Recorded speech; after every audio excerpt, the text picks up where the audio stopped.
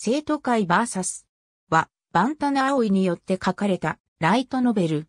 集英社スーパーダッシュ文庫から出版された。イラストは宮坂美優。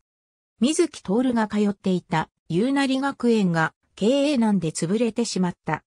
学校がなくなってしまったため、夕成学園の生徒たちは違う私立の学校に通うことになった。その時に女子校である白姫学園が試験的に男子生徒を入れてみたいと横槍を入れてきた。白姫学園に入ることになった男子生徒たちは期待を胸にして始業式を迎える。生徒会長かつ理事長である天上院カンナが男子生徒に今日からこの制服を着てくること。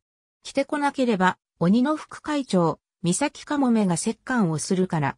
この学園では、私が法律、私が正義、私が神なのよ。分かったら、服従しなさい。生徒会長の手には、女性の制服があった。要するに、毎日女性の制服を着てこなければいけないということで、ある。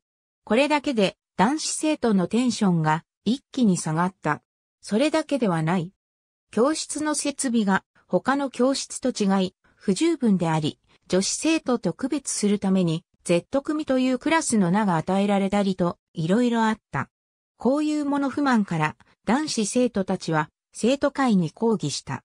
その結果、勝負をして勝った方が一つ負けた方に何か条件を出すということに決定した。スーパーダッシュ文庫、集英社館、バンタナアオイチョ、宮坂美優が生徒会バーサス。お嬢様学園の暴君2009年6月発売。ISBN 978から4から08から63万492から4生徒会バーサス。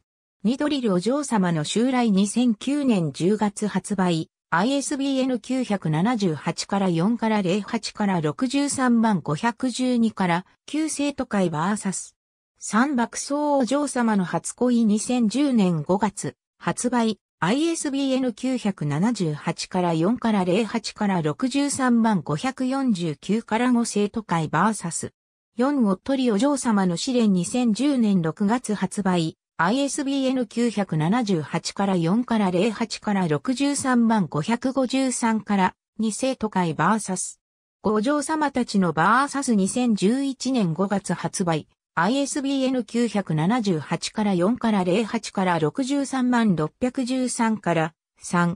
ありがとうございます。